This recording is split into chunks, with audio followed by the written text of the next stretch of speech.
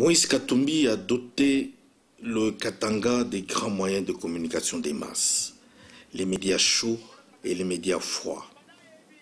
Il a acheté deux émetteurs, radio et TV, à Kalemi et radio TV à Kamina, sous la gestion de la RTNC Katanga. Le Mumbashi avait déjà les siens bien avant l'avènement de Moïse Katumbi au pouvoir en 2006.